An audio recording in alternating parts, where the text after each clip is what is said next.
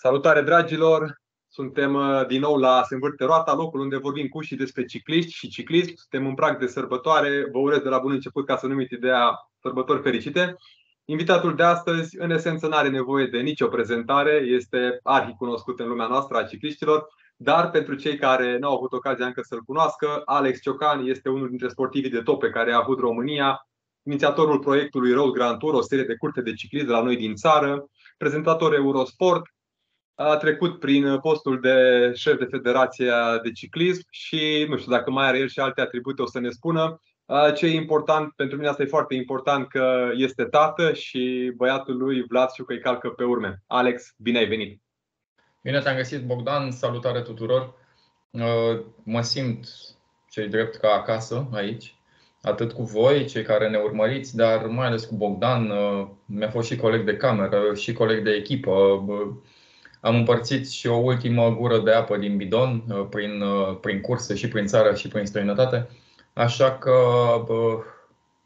cred că pot răspunde la aproape tot ce mă întreabă el. No, să sperăm că sunt întrebări pertinente. Nu, bine, nu sunt genul care să pun oamenii în prea mari dificultăți, deci nu cred că o să fie vreo problemă. Uh, spuneam și ție mai devreme, nu am un tipar anume după care desfășurăm interviu, o luăm după cum devine uh, inspirația. Îmi spuneai mai devreme că tocmai ce te-ai întors de la tură. Hai să vedem, care e treaba, ce mai faci uh, zilele astea? da, Bogdan a tot tras de mine de vreo oră să începem uh, această înregistrare, i-am spus la început, băi, stai puțin că nici măcar nu m-am dezbrăcat, pe urmă stai puțin că trebuie să mănânc, că altfel uh, nu duc la capăt interviu, mă ramolesc de foame. Uh, eu zici că am intrat în, uh, în anul olimpic, ceea ce nu e. E adevărat? Ceea ce e adevărat. Uh, ieri am făcut două antrenamente, unul dimineața, unul seara. Astăzi am făcut 130 de kilometri. Uh, mâine cred că ies la o alergare de vreo 20 de kilometri. Nu am exact un scop, nu am niciun obiectiv. Uh, îmi place acasă, îmi place cu soția mea, îmi place cu pisicile și cu Vlad, cu Fimiu, dar uh, ceva parcă mă mână de la spate. Partea noastră este că suntem un grup destul de mare de tâmpiți care facem același lucru și ne place. Astăzi, de exemplu, am fost până la tatăl meu la Ploiești, tu îl știi foarte bine. Uh, ne-a dat uh, o cafea fierbinte și un vin fiert. Uh, iar la întoarcere, tot ploieștiul, clar, a știut că noi trecem pe acolo. Câți ați fost? Cât e gașca de mare? Nu, astăzi am fost numai 8. Pentru că de când s-a înrăutățit vremea, astăzi oricum se anunțau rafale de vânt puternice. Noi am avut noroc că am prins aceste rafale doar pe finalul antrenamentului, în ultimii 20 de kilometri. În rest a bătut, dar nu ceva de speriat. Dar știi cum e, și în ajun de sărbători și cu vreme urâtă, parcă nu-ți vine să ieși de acasă să stai plecat vreo 5 ore. Cam atât a luat toată tura. Las că la voi e bine, că la mine la Brașov deja ninge și viscolește așa peisaj apocaliptic, că tot e la modă cuvântul la știri. Da, mă, da. Iar, iarna așa trebuie să fie. Adică, până la urmă, mie mi-e dor de Uh, iernile copilăriei mele, când uh, practic uh, două luni ne întrebam dacă mai mergem la școală mâine, câteodată chiar se închideau școlile din cauza zăpezii. Acum, chiar dacă ninge, de fapt se face o mare mizerie, nu mai e zăpadă adevărată. Da, dar mergem și mai încoace, că pomeneai că am fost colegi, că am făcut împreună, aduc aminte când ieșeam la antrenament, era ger, era zăpadă, era zluată pe șosea, foloseam bicicletele acelea de, de oțel de prin anii 80 cu apărători, mergeam ca pe Tohan cu ele.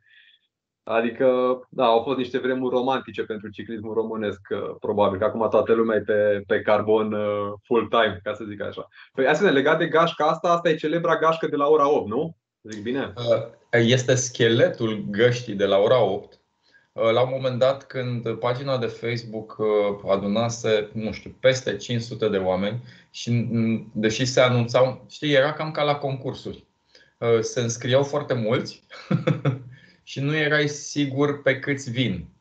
Aici, nefiind cu taxă, cu atât mai mult nu erai sigur și te trezeai singur. Și am mutat totul pe un grup de WhatsApp. În vara aceasta s-au unificat trei găști cum ar veni. ajuns, am ajuns din nou să fim 20-30 de băieți la antrenament. Uh, mi-a plăcut foarte mult pentru că odată cu numărul crește și viteza, automat cresc și distanțele și am ajuns să facem uh, o dată pe săptămână 130-150 de kilometri în weekend când uh, îți permiți. Iar în timpul săptămânii, cred că cel puțin eu îmi mai permit să ies de maximum două ori pe bicicletă, dar nu pentru distanțe foarte mari. Vara ne întâlnim pe la 7 și jumătate 100 uh, de kilometri facem în 2 ore și jumătate, cel mult 3 ore dacă bem și o cafea. Uh, iar acum, astăzi, cei drept, ne-am întâlnit la ora 9, uh, ne-am permis să dormim un pic mai mult dimineața. Păi, acum hai să dăm, să zicem așa, dăm timpul înapoi, că asta e ceea ce faci acum. Ai 40 și cât de ani, Alex? Uh, fac 46 în martie. Puțin înainte, asta n-am spus-o că suntem născuți în aceeași zi, pe 22 martie. Ea este a doua pisică. Prima a luat parte la interviu încă de la început. Ea este a doua pisică. O să chem și eu pe mea dacă e cu... Îi place cafeaua foarte mult și a simțit probabil uh, mirosul cafelei mele și dă târcoale, ce știi. În fine, vedem dacă ne va stresa sau nu. Hai să facem scurt și o plasare de produse. La Nutrivita găsiți pudră de roșcove. O folosesc ca substitut pentru cafea. N-are cafeină, n-are nimic, dar ca și gust e cumva tot pe, să zic, apropiat. Asta mai degrabă un fel de cacao. Da, interesant. Deci țineți minte, pudră de roșcove. No, spuneam, dacă dăm timpul înapoi cu vreo 20 și ceva de ani, să vedem cum a început la tine aventura cu ciclismul. Sau, nu știu, a fost altceva înainte de ciclism? Puh, la mine au fost foarte multe înainte de ciclism. Uh, evident, părinții mei fiind sportivi, amândoi, eu parcă am avut uh, în, în sânge chestia asta. Uh, am început cu scrima, cred că a fost primul meu com, uh, sport la care m-a dus tata. Clubul Petrol. Da. Clubul Petrolul trebuie să spunem că avea mai multe secții de sport, nu, nu avea doar ciclismul, avea foarte multe secții. M-a dus așa la volei, la scrimă de două ori, uh, la atletism, uh, la fotbal. Um, să știi că la, în afară de fotbal, unde am fost trei ani, la celelalte, din vina mea, nu m-am dus. Uh, nu mă simțeam foarte atras și după câteva luni plecam sau nu mă mai duceam. Nu aveai tragerea aceea de inimă. La fotbal, evident, ca oricărui copil, mi-a plăcut destul de mult. Eram destul, hai să nu fiu modest astăzi, că e în ajunul Crăciunului, mi se iartă păcatele. Eram foarte talentat pentru înălțimea mea, mhm. doar că am nimerit între generații. Nu știu exact, și la handbal uh, am nimerit cam la fel, doar că acolo a fost puțin mai ușor. Eram uh, pe finalul anului prea mare pentru o grupă, la începutul anului eram prea mic pentru cealaltă grupă. Okay. Și după vreo 2 ani și jumătate m-am retras, m-am apucat de handbal, unde am făcut în paralel cu ciclismul până la 20 de ani. Dar evident că îmi permitea timpul, pentru că turneele de sală erau în general iarna, iar primăvara-vara mă concentram pe ciclism. Partea proastă, că făcând ciclism, evident că nu puteam să acumulez masă musculară foarte mult. Eram unul dintre cei mai firavi din echipă, și uh, la 20 de ani, când am ajuns în lotul național de tineret și la Dinamo București, la handbal, uh, efectiv ziceai că mă lupt cu niște gorile pe, pe teren și nu mai era deloc plăcut. Uh, mâncam bătaie la fiecare antrenament, neintenționat, te lovei de ei, pur și simplu. A. Și mi-am dat seama că, băi, n-am cum să le fac în continuare pe amândouă și m-am oprit la prima și ultima dragoste, la ciclism, uh, unde, nu știu, am făcut ce am putut. Nu am fost răchi, nu, nu zic că când eram eu în 64, știi povestea tatălui meu, când eram da, eu da. în 64, mergeam cu 48 la oră. Nu, n-am povești de genul ăsta. Uh, doar că îmi place în continuare să, să ies pe bicicletă, să alerg, uh, practic cam orice. Și ping-pong mai joc din când în când. Dar acum, uite, vedem la la Remco, vine din fotbal în ciclism, are rezultate, la Roglic, vine din ski.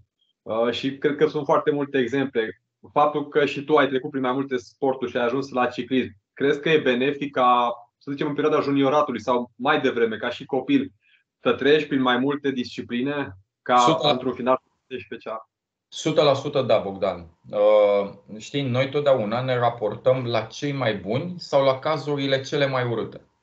De exemplu, tu ai amintit uh, de Remco, de Roglic, eu îți spun de Pogacar, care nu a făcut niciun alt sport înainte, a făcut ciclist de la 11 ani. Ei, ei sunt.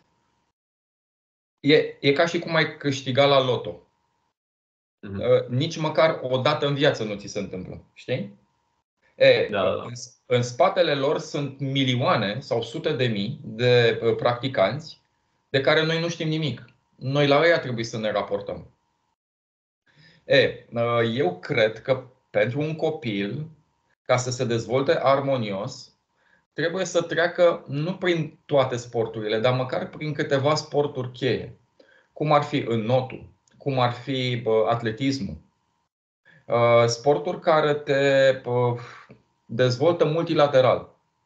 De exemplu, eu am văzut uh, împreună cu Simona, am văzut în urmă cu vreo 3 ani salturi foarte mari în dezvoltarea lui Vlad, al băiețelului nostru. Uh, și ne-am dat seama că dacă îl duci la sporturi care presupun forță, s-ar putea să-i stagnezi puțin creșterea sau să, să nu se mai dezvolte armonios. Și i-am zis, băi, nu ne interesează, de două ori pe săptămână tu te duci la not. Uh, acum un an, doar din not, l-am luat pe bicicletă cu gașca de la 8 și el a putut să stea 80 de km în spate fără niciun fel de problemă. Fără niciun fel de problemă. Uh, evident că lui s-a pus pata acum pe ciclism, doar că are examen de trecere dintre 8 între 9 în vară. Și am spus că până atunci, până în iunie, el trebuie doar să cocheteze cu sportul. Adică să nu piardă uh, contactul cu el, dar nici să nu se concentreze. Adică nu vreau să aud că face 6 antrenamente pe săptămână. Are 14 ani. Vreau să facă uh, de două ori cu bicicleta, o dată să iasă cu mine la alergare, să mai duce o dată la not. Din vară are tot timpul în față să vedem dacă e făcut pentru sportul ăsta, dacă îi place. Iar când zic dacă e făcut, nu mă refer doar fizic, ci și mental. Ca să fii sportiv de performanță, cel puțin în zilele noastre, tu trebuie să fii foarte conștiincios.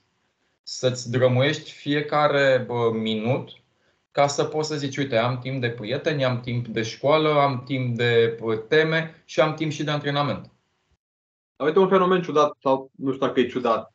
Tu ai făcut ciclism și înțelegi procesul tatăl tău, deci cumva, să zicem, e o, să zicem, o tradiție de familie. Dar văd pe la curse părinții care își însoțesc copiii, și când zic aici copiii, mă nu, copii juniori. Și cumva ceea ce văd eu la prima mână e că pun foarte multă presiune pe ei. Ca și când, domnule, acum trebuie să faci performanță. Uitând că, de fapt, dacă vrem să facem sport de performanță, asta înseamnă 30 poate, sau ne-am dorit 40 de ani. Tu cum vezi chestia asta? Adică părinții care se implică și, și dau cu biciu uneori parcă sar și peste antrenor. Um, punctul meu de vedere sau ceea ce remarc eu este exact ceea ce ai remarcat și tu. Doar, doar că aș exprima-o puțin diferit. Ceea ce noi o considerăm vehemență și agresivitate, din partea lor ar fi pasiune. Doar că există aici două componente. Unu, neinformarea. Ă, majoritatea dintre ei n-au făcut sport de performanță. Ă, și vor, nu au încredere în antrenori și vor să se implice foarte mult în viața copilului. Alții au frustrări, au făcut sport și vor să, ca virgulă, copilul lor să pună în practică ceea ce n-au reușit ei ca sportivi. Mm-hmm. Povestea e mult mai complicată, Bogdan, pentru că normal, când dai un copil pe mâna antrenorului și îl mai și plătești, ar trebui ca acel antrenor, măcar, măcar un an, știi? Să aibă bă, girul total, să-ți dovedească ce poate. Dacă tu îl dai și după o săptămână deja te bagi în sufletul lui, îi explici tu că știi mai bine. Păi la un moment dat antrenorii ăștia o să zică bine mă, eu doar vreau să iau taxe de la ei ca să am bani și nici nu mai îmi pasă ce fac. Se satură și ei, pentru că nu vorbim aici de un părinte și un antrenor. Vorbim mm. de 100 de părinți și un antrenor. Antrenorul mai devreme sau mai târziu va ceda. Uh, eu cred că România ca societate trece printr-o etapă din care va ieși la un moment dat, care se reflectă nu numai în sport, ci și în toate celelalte domenii. Noi ardem aceste etape acum. Noi suntem pe repede înainte. Nu mai avem pic de răbdare. Uh, le știm pe toate. Evident că internetul ne ajută, între ghilimele, să le știm pe toate. Și dacă am putea, cred că ne-am și operat singuri. Sau ne-am operat prietenii. N-am mai avea nevoie de chirurgi. Că noi știm mai bine. Acum aduc discuția undeva într-o zonă abruptă, dar a fost ciclistul la italian, Rico sau cum îl chema, care se dopa singur, nu? Ricardo Rico. Ricardo Rico. Adică da, am dus-o departe, dar de principiu se poate, nu? Oameni care și-o fac singuri cu mâna lor. Da, hai că acum îmi place un pic și, și istoria. Acum, cum, cum vorbeam, da, e moda asta, există preparatorii sau antrenori personali și duci acolo copilul sportivul. Dar mi-aduc aminte pe vremea mea și tu că ești na, mai, mai încolo de mine, tatăl tău cumva, că acolo am început nu și eu și tu la Nea Constantin Ciocan, cumva era antrenor, era directorul sportiv, era manager, era, nu știu, CEO, era omul care cumva le făcea pe toate. Cum funcționau lucrurile atunci și cum arată acum și cumva, nu știu, care e mai de succes să zic așa, că situația de acum o vedem cu toții și na, ce să mă, nu, nu toată lumea știe situația ciclismului românesc, dar privind în uh, istorie și, nu știu, raportând la anii 2000, totuși se întâmplau ceva lucruri, adică și cazul tău, etape câștigate, tricouri prin tururi, nu în turul Turciei, în turul României. Uh, am avut români care au bătut uh, generalul în turul României și poate și alte curse, ceea ce acum mm, nu prea. Nu știu dacă nivelul e altul sau concurența sau. Uh, eu, eu cred că este, sunt două lumi total diferite. Deci, bă, practic, singura legătură e bicicleta. De ce zic?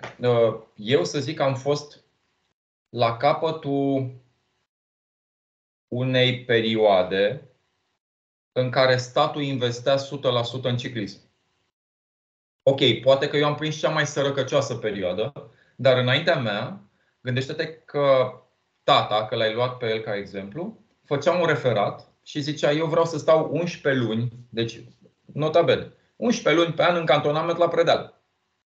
Poate nu i se dădea 11 luni, dar îi se dădea un 9.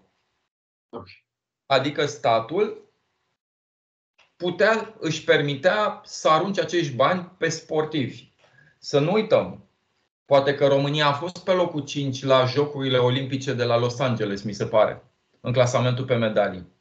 Dar în spatele acelor rezultate mai erau alți mii de practicanți care nu au făcut rezultate, susținuți tot de statul român. Asta înseamnă că erau acei bani. Plus că materialul de concurs, bicicleta în cazul ciclismului, era o chestie mult mai ieftină decât în zilele noastre. Știi și tu, noi mergeam pe biciclete de la generație la generație, adică aceeași bicicletă cârpită de neastelică. Se moștenea. Se moștenea și să știi că diferența între ce aveam noi și ce era afară nu era enorm de mare acum ca o paranteză mă iert, mi-aduc aminte când m-am apucat eu în 2009 și m-am dus, uh, cei care nu ne cunosc, noi avem aceeași înălțime. Eu 1,91 m, bine, Alice 1,92 m, cred. Și mi-aduc aminte, tatăl tău mi-a spus și că uite, asta e bicicleta lui Alex, al lui fiu, mi-a bătut etapă în turul Turciei cu ea. Și zic,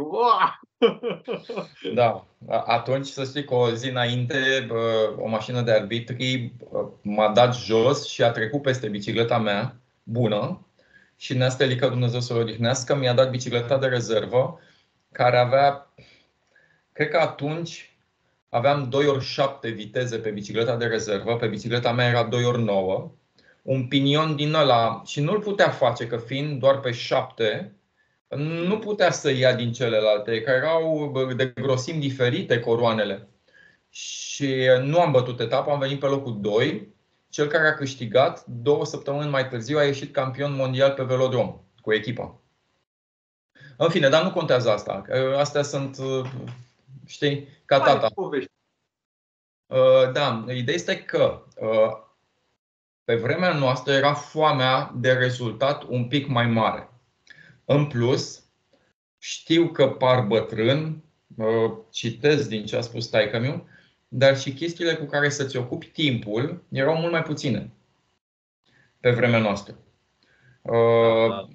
Chiar dacă avem telefoane mobile, telefoanele alea mobile erau doar niște telefoane fixe fără fir. Adică exact. nu puteai decât să suni și să primești. Uh, mesajele costau de, destul de mult, nu prea îți convenea să trimiți mesaje. Când a apărut jocul ăla râmă sau cum se numea, a. deja era next level. Exact. Uh, acum, eu cred că este mai complicat pentru un manager uh, să țină o echipă. Și mă refer în mod special la Cristi Piciu. Ai fost la echipă, la Mentorize? Uh, acolo este un hei rup nebunesc. Bine, toată uh, stima pentru ce face acolo e... Exact. Nu vin bani de la stat. Adică fiecare ban de acolo este muncit și adunat și pus deoparte ca să se poată duce copiii în nu știu ce concurs în Ungaria.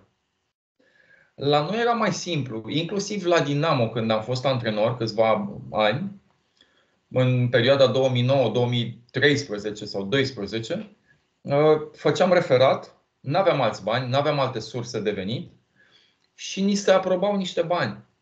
Uh, ți-am zis, din păcate, statul nu se mai poate implica și nu o să se mai implice niciodată, decât uh, așa, poate pentru un lot național, poate pe o, pentru o competiție de talia europenelor, mondialelor sau Jocurilor Olimpice. Iar România traversează această perioadă de tranziție în care sportul încearcă să găsească finanțare. Din păcate, ca în mai multe domenii, în România totul durează mult mai mult.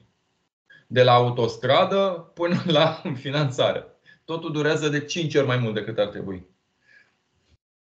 Da, din păcate. Deci cumva, până la urmă, na, ai punctat și tu discuția asta cu pe vremea noastră sau așa, nu-și mai are rostul. Cumva comparăm mere cu pere și trebuie să ne raportăm exact. la, la ce acum. Na, ai că ai amintit de... Iartă-mă că te întreb. Gândește-te cât de fericiți eram când găseam o cască mai bună sau o pereche de ochelari. Iar acum intri în primul magazin și poți să-ți cumperi. Păi, îmi amintesc că lângă petrolul își deschisese din Vlad magazin. Era cu M2, importa da. CD pe atunci avea un magazin micuț, dar când intrai acolo, wow, era, ți se deschidea așa raiul. Eu am zis-o mereu, îi sunt recunoscător pe vecii lui Vărămiului Dan Anghelache. Când, așa, când am început, m-am dus la el, el era coleg cu tine la Dinamo, mi-a dat o plasă de echipament pe atunci. M-am apucat chiar în ianuarie, mi-a dat uh, patinaj, Wintex, uh, tricouri, huste și așa mai departe. Dacă n-ar fi fost el, cumva, ana, că nici la perioada în care am început eu deja și Nea Ciocan era, na, făcea eforturi să țină secția și la fel ca și Cristi de altfel a fost fantastic. Uh, și acum da, ai deja la Decathlon nu era pe vremea aia, acum te duci în Decathlon, poți să faci și gimnastică ritmică, te duci și găsești echipament în Decathlon și așa mai departe și la prețuri accesibile, ceea ce într-adevăr, acum 10 ani sau acum 20 de ani, nici, uh, nici pomeneală. Pomeneai de epoca Dinamo, da, 2009, dar habar n-am, și mai devreme. Ai amintiri faine sau chestii pe care nu se mai fac, de exemplu, cantonamentele astea de care vorbeai, botezul. Când ajungeai prima dată, poate în cantonament sau la echipă, ți se făcea botezul. Sunt sigur că tu le-ai prins, că nu ai mai povestit despre chestiile astea. Să știi că nu. Uite-te, practic botez, știu că am auzit foarte mulți sportivi, însă la noi, la ciclism, la petrolul, nu a prea existat acest botez. Ok, că îl mai luam pe unul mic cum era accente și îl bă, chinuiam. Dar ce înseamnă că îl chinuiam? Săream doi pe el și îl gâdilam. Adică, dar nu erau botezuri din astea deranjante. Absolut deloc. Iar eu, când eram mic, cred că am fost atât de multe ori cu lotul național și cu echipa de la Petrolul, Metalul Plopeni, prin cantonamente și deplasări, că eram un copil de echipă, adică nici nu. Eram partea lor. Știi ca la mhm. canotaj, eram acel plus unu, mic, ascuns în vârful bărcii. Da, tu cum vezi chestia asta? Am vorbit cu mai mult și cumva poate sunt împărțite părerile. Pe vremea ta, de exemplu, să te în cantonament cu echipa, pe ce ai, aveați cumva același program comun de antrenament. Acum, fiecare sportiv are planul lui de antrenament, se antrenează individual și cumva din când în când intră în cantonament cu echipa sau poate cu câțiva și fac. Acum nu știu, iarăși, ține de perioadă sau. Uh, Uite, tu ai dat un exemplu, dacă derulezi înapoi cu vreo 5 minute, ai zis, băi, pe vremea ta, deși uh, era o perioadă de sărăcie, ați reușit următoarele rezultate. Acum nu prea mai există acele rezultate. Uite o explicație. Părerea mea că pregătirea centralizată deci, iată, noi doi stăm împreună în cantonament. Eu sunt bun pe sprint, tu ești bun pe cățărare. Dar crede-mă că dacă noi doi facem un antrenament de la Ploiești până la Brașov și înapoi, și eu îmi fac sprinturile, că știu ce îmi priește, și tu îți faci cățărarea. Și ne așteptăm la predeal când începe coborârea, bem o cafea și facem coborârea împreună. Asta nu înseamnă eu personal cred în aceste programe de la distanță până la un punct. Aceste programe de la distanță sunt bune, dar când vrei cu adevărat să faci performanță, acel antrenor trebuie să-l vadă la ochi și pe sportiv. Pentru că eu nu cred în transparență totală. Dacă eu mă duc cu o fată noapte, nu o să-i spun niciodată antrenorului. Pentru că se poate ca eu să am o curs obiectiv peste 3 zile. Și automat antrenorul se va supăra pe mine. Nu o să-i spun niciodată. Și el o să-mi dea nu știu câți kilometri de făcut dimineața. Crede-mă că pulsul nu te va da de gol în prima zi. Pulsul sau powerul te vor da de gol mai încolo. Mm. Și nimeni nu-ți face analiză de sânge, de lactat, Uh, în fiecare zi sau de la distanță. De fapt, cred că sub 1% fac astfel de analize. Acum, din nou, iar eu tot vorbesc ca bătrânii, că știi, pe vremea mea, dar punea ciocan, făceam trei antrenamente urmărite. Venea cu mașina în spatele nostru, îți vedea că asta e faza. Îți vedea poziția pe bicicletă, îți vedea pedalajul. Cu Nemircea Romașcanu, de exemplu, a venit la mine și mi-a zis, băi copile, tu, tu nu tragi de pedale, tu, tu doar apeși.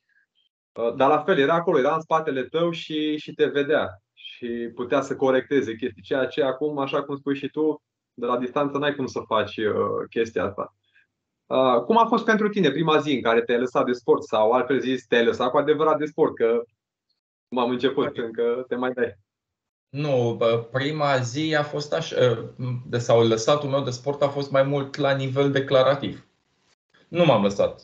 Adică Practic doar am renunțat la presiunea de a face parte dintr-o echipă și a fi obligat să urmez un anumit program.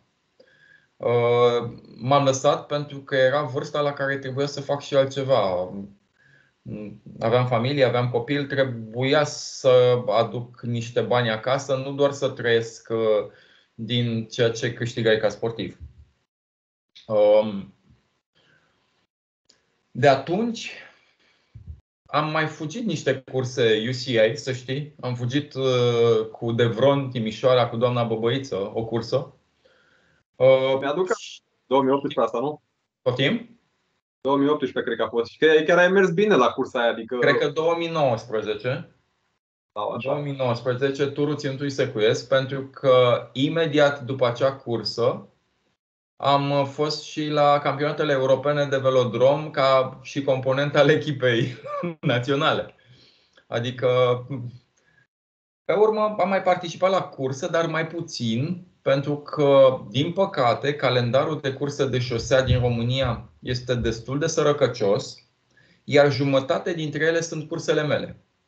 Și nu, nu e ok să particip la cursele tale, uh, nici ca imagine și nici ca profesionalist, că tu ai alte lucruri de făcut. Ai de ținut legătura cu salvarea, cu ambulanța, cu poliția, cu drumurile, cu absolut toată lumea. Uh, păi hai să zicem, acum cursele tale sunt de fapt sub umbrela, am spus la început, Row Grand Tour, da? E un, număr, e un nume de scenă. Uh-huh.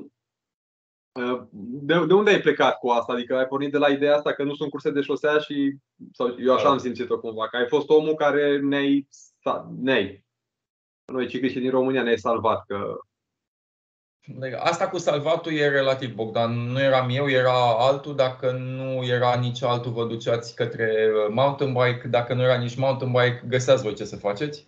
Și eu am plecat de la aceeași idee să salvez ciclismul de șosea. Uh, nu cred că s-a întâmplat acest lucru. Poate doar am ameliorat puțin situația generală. Um, Într-adevăr, acest uh, Row Grand Tour a făcut 10 uh, ani în 2023. A început mai timid. La un moment dat, mulțumim. Uh, a început mai timid, la jumătatea, chiar înainte de pandemie, a crescut foarte mult, ajunsesem să fiu plecat cu lunile de acasă. Mi-aduc aminte, o luam pe Simona, ne luam pisica. Pe vremea aceea, cred că aveam o singură pisică, da pe cea albă și plecam în felul următor. Aveam concurs la Zalău, concurs la Arad, concurs la Oradea, concurs la Drobeta Turnul Severin. Stăteam o lună și jumătate plecați pentru că nu avea niciun sens să ne ducem și să ne întoarcem. Și stăteam efectiv din hotel în hotel. Ajunsesem la un moment dat la, cred că 14 zile de evenimente pe an Uh, bine că a venit pandemia, dacă pot spune așa. Pentru o zi, cât îți lua? Cât îți lua să pregătești acea zi? Că și asta e. Puh, dacă, dacă nu știi ce trebuie să faci, uh, îți ia enorm de mult. Mi-aduc aminte, de exemplu, uh, cam vreo lună și jumătate de stres și de învârtit în jurul cozii. Pentru că efectiv nu știi de unde să apuci anumite probleme. Mi-aduc mm. aminte, știi că era o cursă în București, în jurul Casei Poporului. Da, da, da. Uh, mi-a venit uh, aprobarea, deci gândește-te în jurul Parlamentului României, mi-a venit aprobarea la trei zile după concurs. Ok, am, am avut o aprobare verbală, dar care n-ar fi valorat nici cât o ceapă degerată dacă se întâmpla ceva în timpul competiției. Wow și mi-a venit hârtia oficial miercuri. Eu având sâmbătă sau duminică competiția, adică trecuseră da. trei zile. E, um, încet, încet am eliminat sau am încercat să elimin aceste momente în care eram aproape de infart și am rămas cu competițiile sigure care sunt după un anumit schelet, un anumit tipar și am încercat în ultimii ani să-mi formez o echipă chiar dacă lucrurile astea costă, pentru că oamenii valoroși costă, să-mi formez o echipă care să poată organiza o, un eveniment și fără mine. Dacă eu nu reușesc să mă trezesc dimineața, evenimentul ăla sigur va avea loc. Uh-huh. Ok, poate nu bă, cu toate acele detalii, poate nu cu mine la microfon, cunoscând 99% dintre participanți, dar astea sunt niște amănunte Mm, care nu contează extrem de mult. Sunt mai mult așa niște elemente artistice.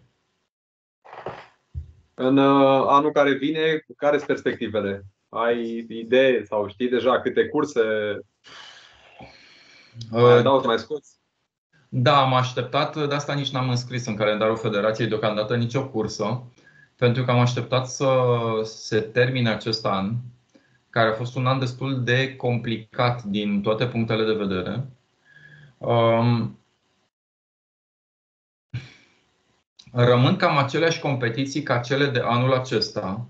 Asta înseamnă uh, o competiție de copii mare în perioada 1 iunie în București, Seciu și Pucioasa, uh, competiții mari de șosea, Teleferic și Izverna, competiții deja cunoscute și mari de, de mountain bike. Um, în... Încercăm acum să legăm un parteneriat cu organizatorii uh, Gerard Marathon, Transfer uh, și să facem un, uh, hai să zicem, un fel de triumvirat. Știi, adică unde trei puterea crește. Uh, și speranța mea este ca mai devreme sau mai târziu să pot aduce din nou Transalpina și o cursă în București. Că se vor întâmpla amândouă în 2024, că va fi una singură sau niciuna, uh, nu știu. Trebuie să treacă perioada asta în care cauți sponsori, cauți parteneri, ți se răspunde, dar nu ți se răspunde concret. Uh, iar acel concret contează foarte mult. Acum, uite, zicem asta, că poate cineva vede interviul nostru și vrea să sară cu sponsorizarea. Unde, te, unde poți fi găsit? Eu? Oriunde. Să te caute pe tine și tu îi dai contactul meu. Evident că știi ce culmea că chestia aia cu numele proștilor pe toate gardurile e cât se poate de reală. Cred că dacă baci pe Google număr telefon Alex Ciocan, ți apare. Deci Am înțeles. Deci ești ok. Alex Ciocan și se face legătură. Exact. Dacă cineva vrea să-ți urmeze exemplu, dacă ar fi să-i dai un sfat, bine, dacă ai mai multe, ești liber, dar măcar un sfat, ce, ce l-ai sfătui? Uh, în Istanbul se fac implanturile de păr cele mai reușite. Uh, uh, glumesc. Uh, nu știu exact, Bogdan, ce, uh, ce să-l sfătuiesc.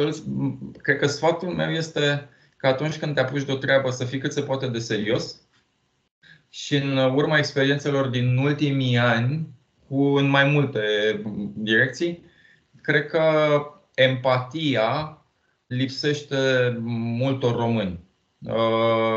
Știi, călcatul ăla pe cadavre, cred că noi l-am dus la alt nivel. Da, probabil, din, din păcate.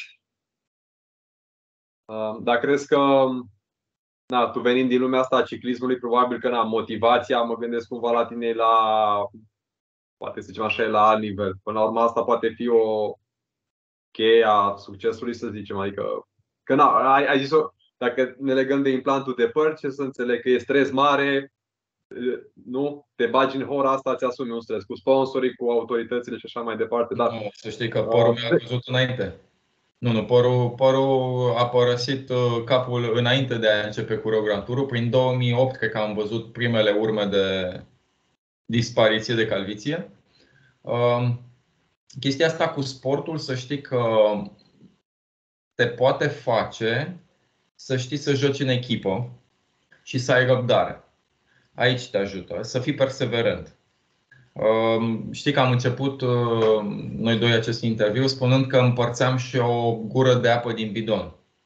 Uh, da, în momentul când 8 uh, etape consecutive te chinui alături de niște colegi, nici nu te gândești să bei singur acea urmă de apă. Nu, iei o gură și îl întrebi și pe cel de lângă tine dacă vrea restul. Uh, și nu o faci din obligație, nu o faci să ți se întoarcă acest serviciu, nu e o chestie naturală. Apropo, uh, am citit uh, pe un blog sau pe un forum un tip care face călătorii prin lume și a ajuns în țările nordice, Finlanda, Suedia, Norvegia.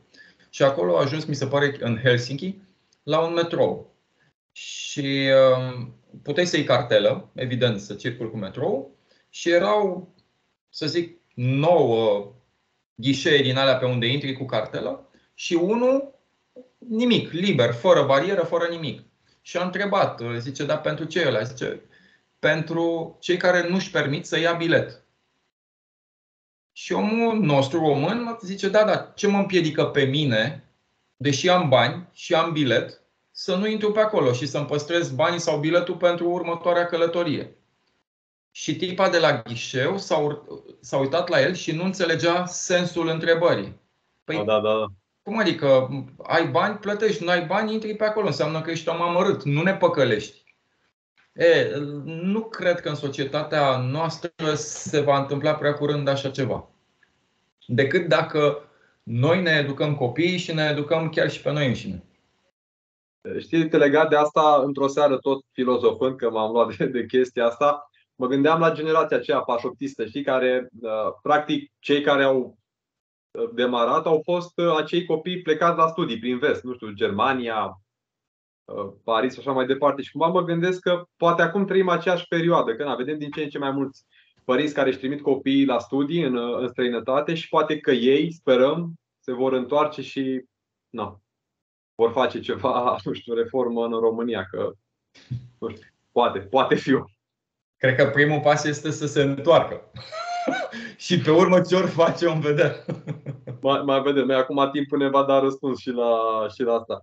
Uite că vorbeai de a bea apă din același, de a împărți apa din același bidon. Cred că vreau, vreau să spun asta, am tot povestit-o așa prin diverse contexte, dar, dar noi am fost colegi la, la Otopeni în 2012 și mi-amintesc că a fost poate cea mai călduroasă vară pe care am prins-o pe, pe biciclete. Făceam acele antrenamente de la Otopeni, Comarnic, tur, retur.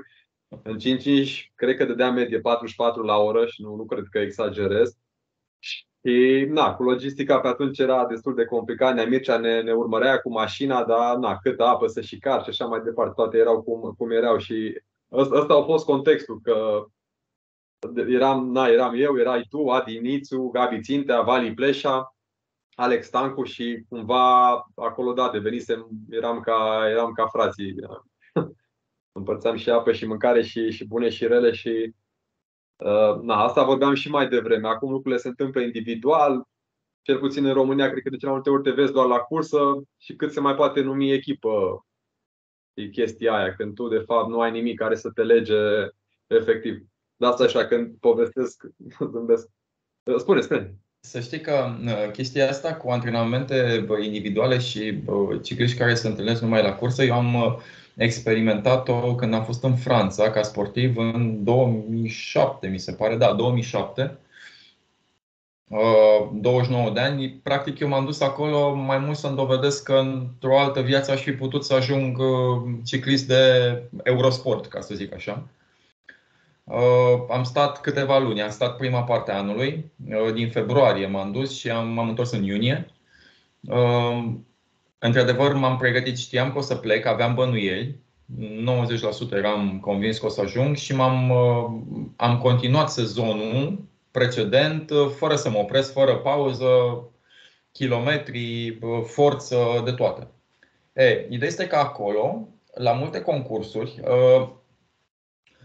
Practic, uh, eu acolo am câștigat câteva concursuri, am venit de mai multe ori pe podium. Uh, mi s-a zis foarte clar, băi, nu mai câștiga, la trei concursuri câștigate, uh, creșteai cu un nivel automat. Iar echipa nu își permitea să participe la acele concursuri, care erau și mai departe, și tu cu taxe un pic mai mari, iar ceilalți sportivi din echipă n-ar fi făcut față și mi-a zis, okay. tu oricum vei trece la nivelul următor, dar în loc să treci pe loc când ai a treia victorie, vei trece la finalul anului. Așa că noi câștigăm acest sezon, să căutăm sponsor și poate să creștem cu toată echipa. Se numea uh, nivel 1, DN1. Mhm. Divizion Național 1. Uh, și după a doua victorie, uh, mi s-a zis, bă, nu mai câștiga. Și am început să uh, caut uh, variante, totuși să iau bani, pentru că se dădeau premii, dar să nu mai câștig, să trec al doilea sau al treilea linia de sosiere. Evident că faci aranjamente, te descurci. E, acolo am observat că echipele sau multe echipe din Franța nu știau să lucreze în echipă. Uh, veneai tu din Brașov, eu din Ploiești, celălalt din București, aveam același tricou, băi, dar nu ne, nu ne simțeam, nu știam ce poate celălalt și de multe ori trăgeam unul după celălalt, pentru că fiecare voia să iasă în evidență în fața antrenorului. Iar eu, îți dai seama, de mic pe bicicletă, cu echipe sovietice, cu echipe din Bulgaria, miroseam chestiile astea și profitam de multe ori de ele.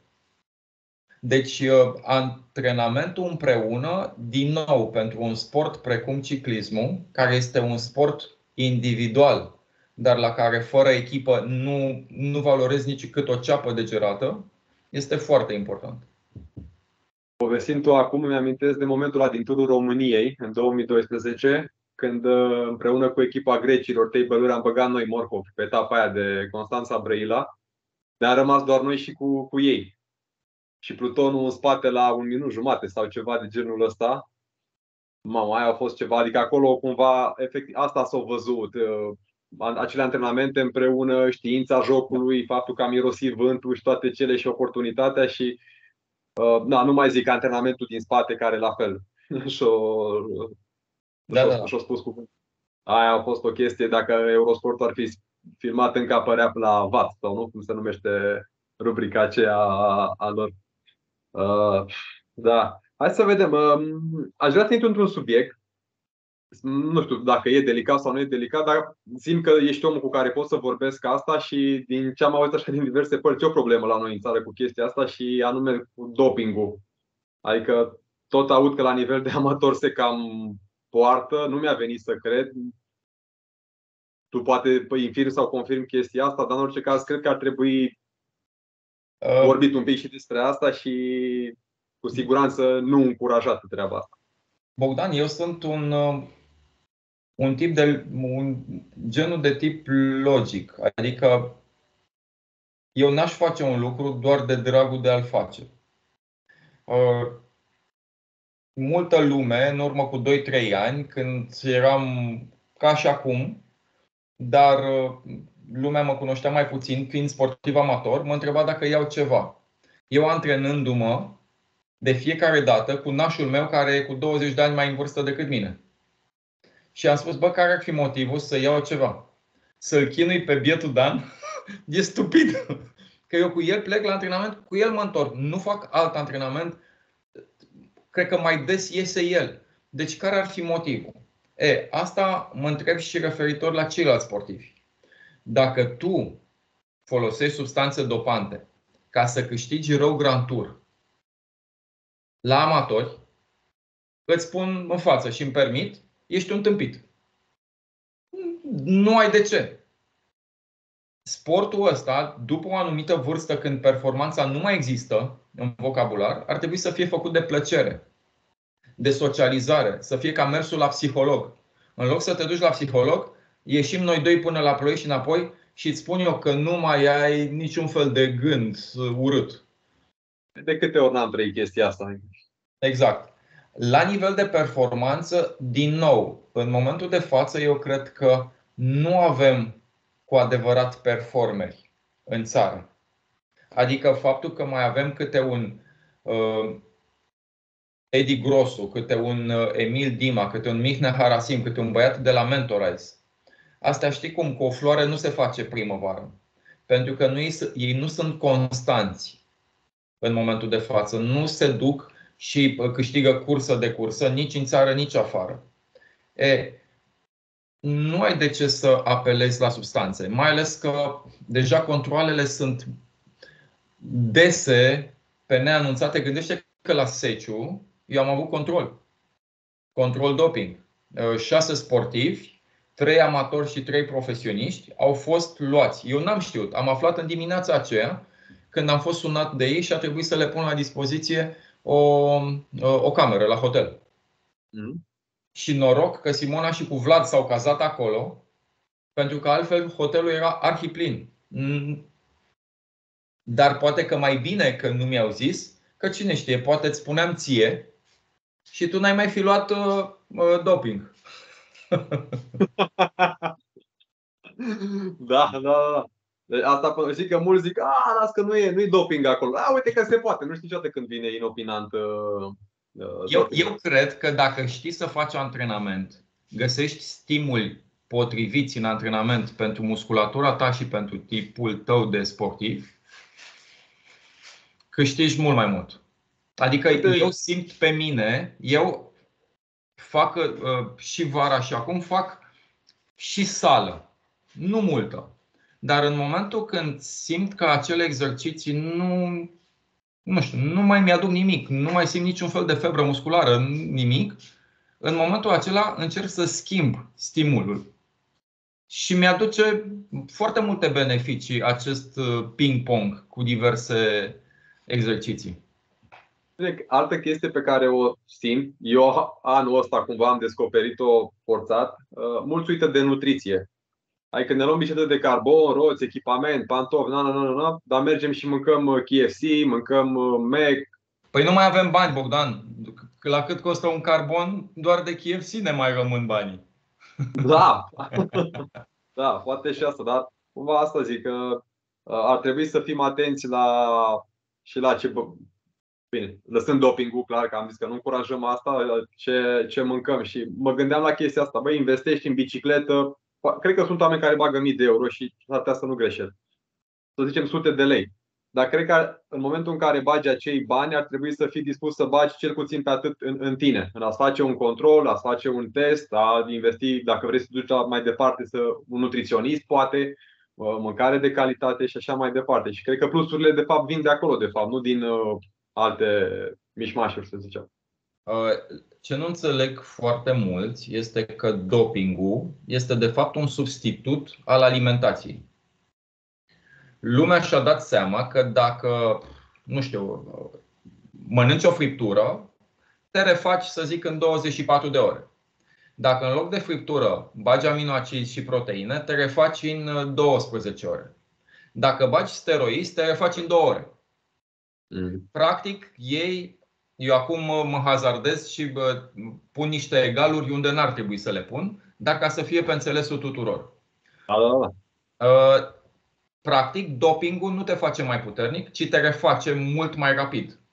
Tu refăcându-te, poți să începi a doua zi antrenamentul odihnit. Și datorită acestui uh, exercițiu să devii mai puternic. Deci, practic, nu dopingul te face mai puternic, ci odihna organismului. E, la fel și o alimentație corectă. O alimentație corectă față de un fast food sau de lasă că nu mănânc acum, uh, mănânc diseară o salată ca să slăbesc, este fantastică. O mâncare potrivită în momentul potrivit mm, e la fel ca o, o odihnă foarte bună. Deci este excepțional. Din punctul meu de vedere, alimentația și odihna reprezintă cel puțin la fel de mult pe cât antrenamentul. Da, deci asta zic, e simplu, nu? Da. Uh, cu ce hage, nu? Lungă și Padova, ceva de genul. Uh, Alex, ai trecut prin uh, federație, ai fost acolo 2 ani, nu? Zic bine. Nu te-aș întreba neapărat bine, dacă probabil că sunt mulți curioși care vor să audă ce a fost, ce s-a întâmplat, dar cumva ce crezi că ar trebui să se întâmple la nivel de federație ca lucrurile să, să o ia într-o direcție bună într-un final cumva și, și la noi? Că... Um, da. Uh, încerc să. E greu, nu știu. Da, încerc să formulez astfel încât să fie pe înțelesul tuturor. În momentul de față există foarte multe orgolii și foarte multe obsesii. Eu nu te plac pe tine și găsesc o breșă în sistem și te dau în judecată. Tu nu-l placi pe Popescu și bă, îl dai în judecată. E, ă, acest aceste procese nu fac altceva decât să blocheze bunul mers al lucrurilor.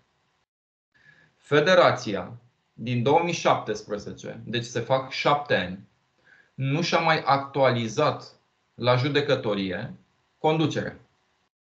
Din cauza proceselor, ă, totdeauna s-au contestat actualii, ă, actualii conducători. E, imaginează-ți că tenisul stă și mai rău. De 22 de ani, 23 în curând, tenisul nu și-a putut actualiza conducerea. Asta înseamnă că la judecătorie există trecuți ca președinte, vicepreședinte și ce sunt ei pe acolo, oameni care poate că au murit, Bogdan. Hm. Deci, oameni care au murit. Automat, actualul președinte, Cosac, de la tenis, sau cum am fost eu la federație, sau cum e Sprâncean acum la federație, au și nu au drept de semnătură. Tu semnezi pentru că ai girul ministerului, dar te poate contesta Comand Bogdan. Pentru că el, dacă intră la judecătorie, la tribunal, nu te găsește acolo. Îl găsește tot pe Eduard Novak din 2017. E, tu, nefiind acceptat de judecătorie ca și conducător, sau Consiliul de Administrație, tu nu poți schimba statutul federației.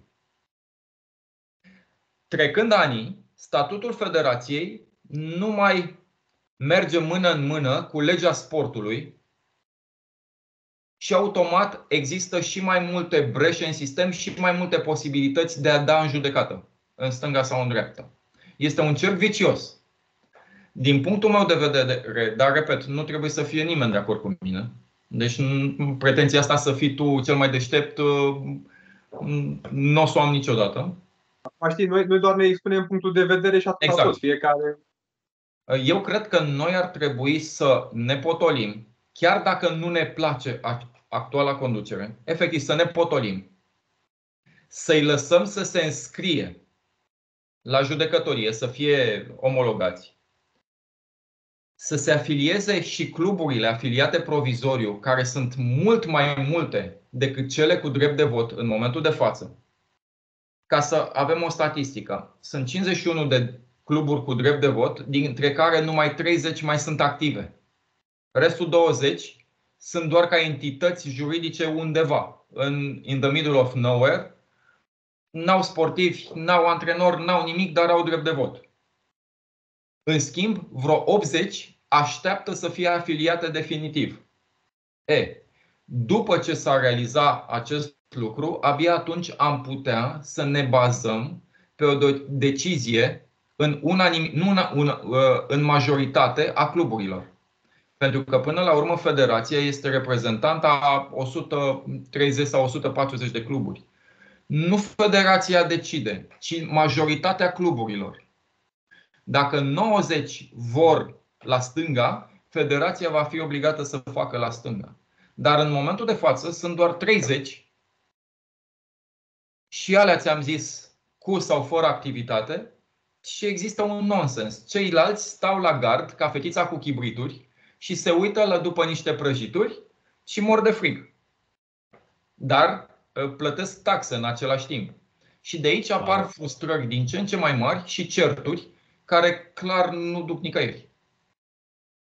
Am înțeles. Acum, da, asta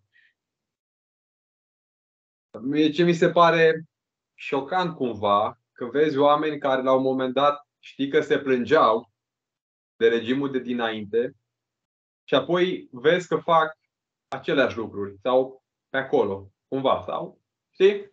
Uh, Ajung să repet. Uh, să știi că e, e foarte complicat, Bogdan, ți-am zis. Noi, ca, ca oameni, suntem foarte orgolioși. Dacă nu reușim să lăsăm orgolile la o parte, evident că lucrurile pot degenera. În al doilea rând, puterea și semnătura te fac poate să vezi lucrurile puțin diferit. În al treilea rând, în momentul când ești acolo la butoane, să știi că sunt atât de multe pe capul tău, încât s-ar putea să nu mai ai timp să faci acest interviu cu Bogdan Coman, chiar dacă i-ai promis, pentru că efectiv abia ai timp să bei apă. Eu îmi puneam da. noaptea pe mod avion telefonul ca să nu fiu sunat la două noaptea de tata să se plângă că nu știu ce i s-a întâmplat la Cupa Națională de la Suceviță. Da, da, da, da. Pomene la un moment dat de remunerație, când povesteam despre Franța. Da, vedem, de exemplu, juniori care se descurcă foarte bine. În momentul în care fac pasul la under sau poate ajung la elite, se retrag. Și asta cumva din cauza banilor. Și cum i-ai sfătuit, cum i-ai îndrumat? Nu știu, să zicem plus minus, dar cumva banii sunt o problemă și e clar că în ciclism nu sunt foarte mulți. Adică na, nu există salarii și așa mai departe. Dar cum crezi tu că ar trebui să. Sau ce ar trebui să facă un, un sportiv ca să rezolve și situația asta? Că până la urmă, Dani Crista, de exemplu, spunea că ok, a trebuit să câștige ca să ia banii din premii. Dar nu toți vor câștiga. Ce, ce fac? Ce vor face ceilalți din spate? Sau cum ar trebui să o regleze? Eu cred că povestea asta cu juniorul care e foarte bun nu este neapărat sănătoasă. Mie mi se pare că acești juniori ai noștri sunt foarte munciți de multe ori de antrenori. Sar niște etape. În loc să ajungă foarte buni parcurgând corect etapele respective, ei sar câte două, trei trepte, ajung buni, după care efectiv că se sting complet. De ce se întâmplă chestia asta? Pentru că antrenorii au foarte puțini copii buni, foarte puțini juniori buni, iar ei trăiesc, nu, ei când zic ei, e slash clubul respectiv, trăiesc din rezultatele copiilor. Dacă nu ești campion național sau dacă nu mai investește nimeni în tine, nu te duci la facultate, că acum sunt deja două cluburi facultate, Târgu Mureș și Timișoara. Uh, sponsorul nu te vrea dacă ești om de locul 8-10. Asta înseamnă că îi împing oarecum pe sportivi să obțină rezultate, negândindu-se neapărat la viitorul lor. La noi era mai simplu pe vremea noastră pentru că tatăl meu, de exemplu, avea 6 sau 7 juniori, cam de aceeași uh, valoare. Nu câștiga unul, azi câștiga altul. Nu câștiga Frunzean, nu câștiga Ciocan. Uh, pe urmă venea Înghelache și îi bătea pe amândoi. Era un pic mai simplu.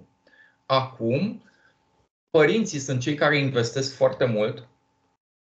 Uh, bicicletele sau lipsa unei biciclete bune a început să te facă să nu mai poți să fii în față la concursuri. Pentru că acum, între o bicicletă bună și una sub medie, e o diferență foarte mare. Aerodinamică, greutate, uh, nu mai zic la mountain bike, când apar și șocurile în, în discuție și unele se blochează, altele nu se blochează. Uh, da, da. E foarte complicat. Adică sunt mai multe fronturi care trebuie să ajungă să aibă un numitor comun. Înțeleg. Deci, una peste alta e complicată sau plus minus. Uh, bă, știi cum e? Evident că m-aș mândri ca Vlad, băiatul meu, să facă ciclism și să facă bine. Dar eu pot să-l călăuzesc până la un punct.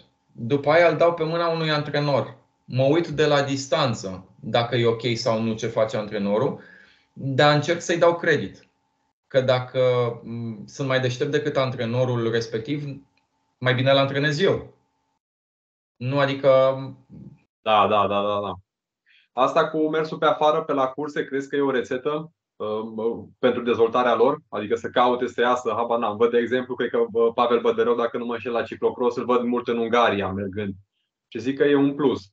Uh, și eu și tu am fost în, în Franța și au fost și alții pe acolo. Și eu am văzut mereu un plus în asta. Acum, nu știu dacă eu, ești sau nu ești de acord. Eu văd, da. Eu cred că este singura soluție în momentul de față până când ciclismul din România va crește și mai mult, pentru că îți trebuie o masă critică și trebuie și o masă de cluburi aici.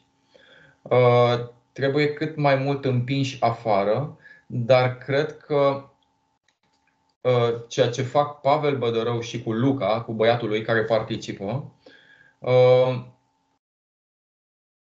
e doar jumătate din drumul pe care trebuie să-l facă faptul că te duci weekendul ăsta până în Ungaria și înapoi, weekendul viitor până în Serbia și înapoi, s-ar putea să-ți obosească copilul, pentru că el tot în România se antrenează. Tot în Parcul mm. Tineretului sau pe uh, fundulea uh, drumul vechi către mare. Uh, eu cred că ar trebui găsit o soluție de către părinți, antrenori sau federație, adică până la urmă vorbim de trei uh, entități diferite, să trimită anumiți sportivi mai mult timp afară. Uh, Uită-te la Mihnea Harasim, care uh, pe perioada junioratului a fost și component al echipei Cannibal din Belgia. Mm. El clar a avut un cap peste ceilalți copii de aceeași vârstă din România. Pentru că el stătea în cantonamente prin Belgia, când nu avea curs în România, avea curs în Belgia. Adică el a avut, să zic, jumătate de sezon în plus față de copiii de aici. Și chestia asta s-a simțit și acum. A făcut pasul de la juniori anul acesta către Under 23 Elite și n-a simțit un șoc foarte mare. Adică s-a comportat ca un sportiv elit cu acte în regulă.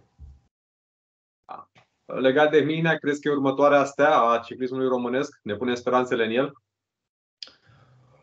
Băi, și stelele astea, dacă apar nori, nici nu știm dacă mai sunt sau dacă ne uităm în direcția bună. Uh, am vorbit în ultima perioadă cu Mihnea destul de mult. Uh, el acum a semnat cu o echipă din Statele Unite, Skyline, uh, o echipă continentală, deja cu o istorie de vreo 7-8 ani, o echipă care folosește echipament incredibil de bun, adică de nivel de World Tour, Ehm, biciclete Specialized uh, SRAM, lucrează direct cu fabrica SRAM, ehm, echipamente de la ASOS, adică îți dai seama top-top, plus două branduri de nutriție sportivă, au undeva asigurate undeva la 80 de zile de concurs, dintre care jumătate sunt în Europa sau puțin peste jumătate în Europa. Asta când vii din Statele Unite în Europa, nu vii și pleci, cum face Pavel cu Luca Bădărău,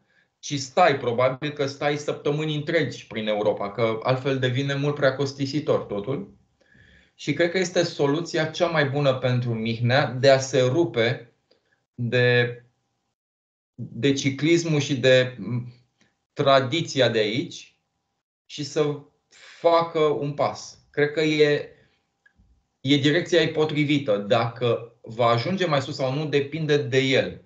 Uh, el este serios, deci mai cred că singurul lucru de care depinde este zestrea genetică. Dacă el este făcut pentru ciclism, vom vedea imediat. Mm-hmm. Da, să sperăm. El mai este Luca Câmpean, care are, mi se pare, un tip uh, cu potențial mare de la Cluj. Da, să sperăm că vom vedea o generație pe, pe val în, uh, în următorii ani. Legat de ce spuneai de asta mai mult într-un loc, poate anul trecut i-am remarcat pe cadeții de la lotul Moldovei. Aveau, cred că, unul sau două Logan, Loganuri MCV și cred că am văzut toate cursele din România și asta îmi imaginez și eu că nu cred, nu cred că au făcut naveta, au stat mult pe la noi, poate mergeau și Bulgaria și Serbia cumva, dar uh, au adunat o grămadă de curse în picioare și acum îl văd că cred că Ilia Novikov îl cheamă pe puștiul lor. Tipul se mișcă destul de bine și o să zic, poate asta poate fi o rețetă. Cumva și federația aceeași chestie să abordeze la noi, să creeze un, poate un lot pe care să-l plimbe prin, uh, prin afară. nu știu. Mie mi-e teamă foarte tare de părinții sportivilor care pleacă. Uh, de curând, din păcate, s-a stins Nea Bebe Berecmeri. Dumnezeu să-l odihnească. Uh, noi, cred că când aveam eu între 20 și 27 de ani, probabil am făcut un milion de kilometri cu Dacia lui Roșie. Mergeam la concursuri. Ungaria, Turcia, Grecia, Serbia, Uh, patru inși înghesuiți în mașină, mâncam uh, pe botul mașinii din când în când până ajungeam acolo. E, eu nu cred că în momentul de față părinții sportivilor de la noi ar fi de acord cu această, uh, această procedură. Nu, nu cred, m-aș bucura să se întâmple chestia asta, dar eu cred că avem niște părinți din ăștia foarte atenți care sunt cu luneta tot timpul pe copii și pe antrenori cu aplicații de urmărire și sunt în stare să-i conducă până la locul uh, concursului din Singapore. Acum tu cu Vlad cred că ai trecut prin asta, fică mea e la grădiniță și trăiesc și o experiență cu grupurile de WhatsApp. Bine, cumva nevastă mea e responsabilă pe grupuri, dar îmi povestește. Și presupun că aceleași grupuri există și în lumea ciclismului și să zicem în lumea sportului. Și cumva, dacă vezi fenomenul ăsta, atunci da, zici, bă, nu știu, putem sau nu putem să facem ceva, dar până la urmă trebuie să, trebuie să încercăm. Nu? Cumva. Așa este. Așa este. Să asta zic mereu de asta um, te felicit și mă bucur că ai apărut și că încă ești și organizezi curse. Um, asta vreau să te întreb pentru că mereu am zis, băi, e nevoie de o echipă. Eu am nevoie de o echipă, tu probabil ai o echipă în spatele tău. Care sunt acei oameni care te-au ajutat sau nu știu, firme sau cum vrei să le numești? Că zic că merită pomeniți tot timpul am ținut mereu de-ai mei. Tu m-ai ajutat de foarte multe ori, nu la curse și cu taxele și așa mai departe și zic că e, mai ales că e Crăciunul acum și se cade să mulțumim în perioada asta, poate un moment bun, și să amintim. Mulțumesc, Bogdan. Da, uh, într-adevăr, uh, mie mi se pare că, nu știu, să știi că la cursele mele majoritatea sportivilor legitimați la cluburi nu achită nimic. Uh, poate doar dacă achită pe la, pe la spatele meu, fără să se afle. Ehm, chiar i-am luat pe câțiva de guler pentru că eu sunt cel care trece, trec listele în revistă, tocmai pentru a-i bifa pe cei care, pe care îi știu de la cluburi. Ehm, și l-am mai luat pe câte unul de guler. Ehm, băi, am văzut că ai achitat. Păi da, nu așa se procedează. Zic, ba da, e foarte frumos din partea ta, dar te rog frumos, data viitoare dăm și mie un mesaj că dacă am posibilitatea, intri așa. Pentru că știu că cei care investesc în ei sau cluburile care investesc în acești sportivi uh, pot folosi taxa respectivă să ia câteva geluri sau câteva badoane. Adică o pot folosi și în altă direcție.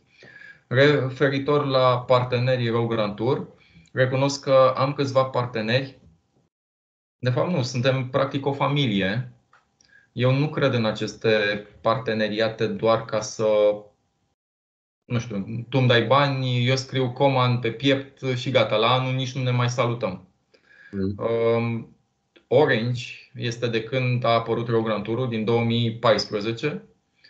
Uh, Husqvarna și Teleferic uh, au apărut acum șapte ani și sunt. Uh,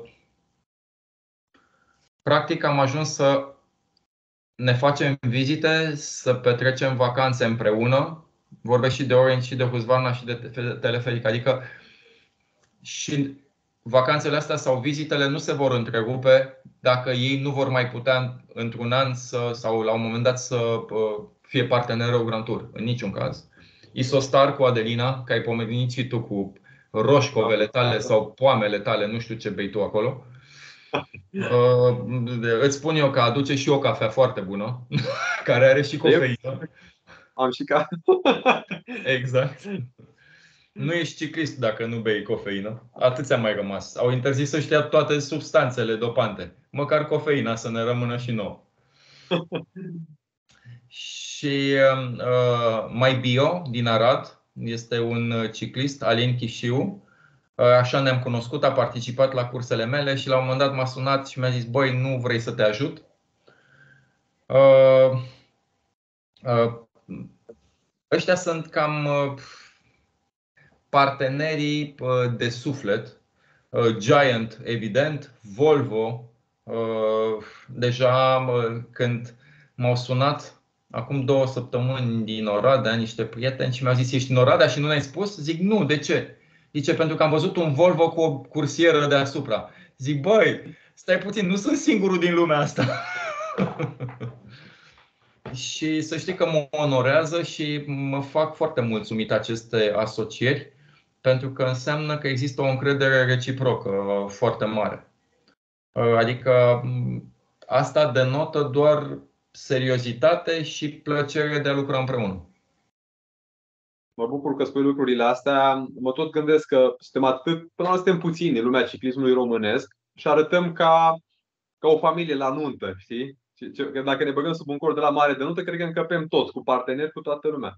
Și revenind la ce se întâmplă cu toate orgolile astea, zic, băi, n-ar trebui să fie așa. Suntem o familie, hai să punem toți uh, știi, mâna pe, pe plug și să tragem în aceeași direcție. Și uh, așa cum ai vezi și tu, na, partenerii tăi care ți-au devenit deja prieteni, uh, așa cum am văzut și eu în, în, în cazul meu, și îți dai seama, băi, suntem o echipă, hai să tragem la, la același juc și trebuie să iasă ceva bun. N-are cum să nu iasă ceva bun din asta. Poate că durează un pic mai mult, dar se va întâmpla la un moment dat. Și atunci, uh, na, sper ca cei care ne urmăresc cumva asta să o ia ca, ca un principiu de viață până la urmă, să, să caute acele legături uh, solide și na, nu știu, să, să țină de principiile astea sănătoase de, de viață. No, Alex, avem aproape o oră jumate. Poate că vrei să mergi să faci cozonaci. Da, da, da.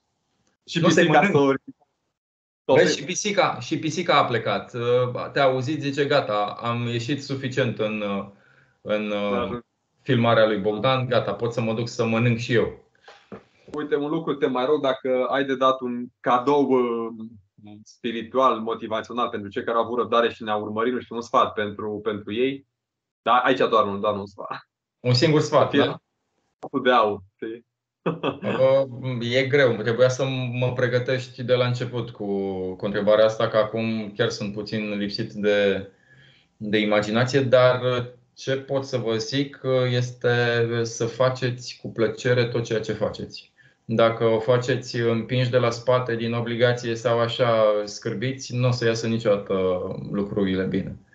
Adică noi aveam o, o vorbă de la antrenorii noștri, băi, vrei să duci trenă, bagă mâna de jos din scobitura ghidonului, din dropuri, cum se spune acum, că trebuie să fiu foarte atent când uh, aud limbajul ăsta nou, trebuie să-l trec puțin printr-o sită ca să-l pricep. Bagă da, mâna da, da, de da. jos, apasă în, în pedale cât poți tu, 500 de metri, 1 km, 2, cât vrei tu, dar nu trage chiulul. După care te dai la o parte și te odihnești la spate. Așa trebuie să faci și în, în lucrurile astea pe care, cu care te lovești zi cu zi. Să le faci cu seriozitate, dar și cu plăcere.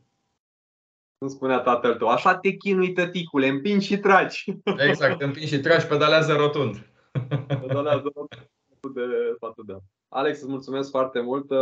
Ceea ce îți urez, am auzit la o bătrânică într-o farmacie, bătrânica îi spunea farmacistei și îți spun și eu ție, să fii fericit pentru că dacă ești fericit vei fi și sănătos. Bătrânii au spus că nu se poate invers, așa vine, așa e mersul firesc, fericirea aduce și sănătate.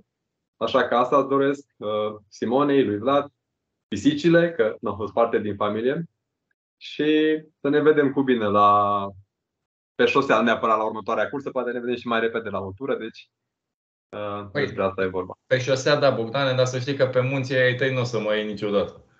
E, la schi, că tot, vii la teleferic și ne dăm Așa da. Poia. Așa da. Anul ăsta am zis că o să ies și eu, n-am mai fost de câțiva ani, deci avem un pretext. Crăciun no. fericit, atât ție cât și tuturor celor care ne urmăresc, dar și tuturor, tuturor. Și tuturor, să ne da. vedem da. sănătoși și liniștiți. Doamne ajută! Dragilor, vă mulțumesc și vouă foarte mult.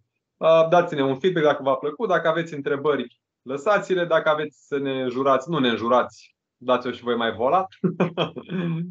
și ce să zic, încă o dată sărbători fericite și să ne auzim cu bine. Pa, pa, pa! La revedere!